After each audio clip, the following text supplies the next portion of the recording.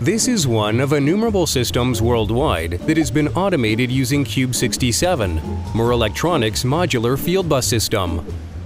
Everything is going according to plan. Orders are processed one after the other, but suddenly, a malfunction occurs. The affected channel is switched off and a diagnostic message is sent to the control. But what exactly happened and where in the system is the module located?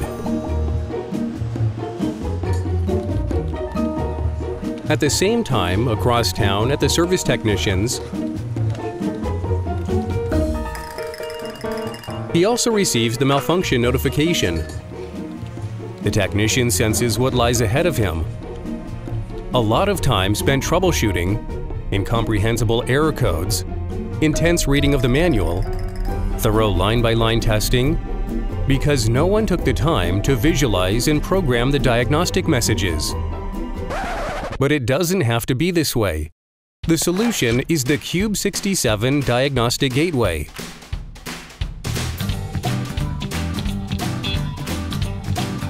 The Diagnostic Gateway can be retrofitted to an existing system.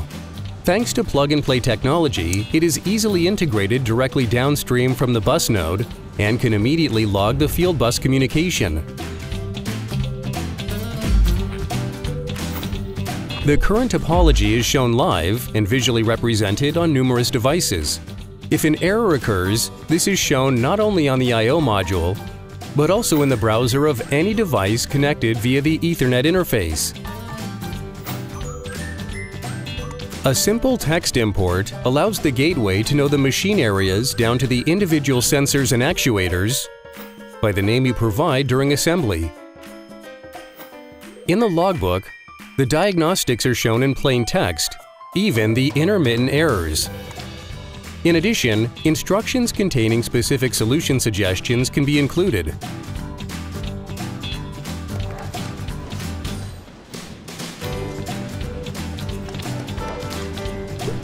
This information helps find and eliminate errors quickly, reducing machine downtime to a minimum.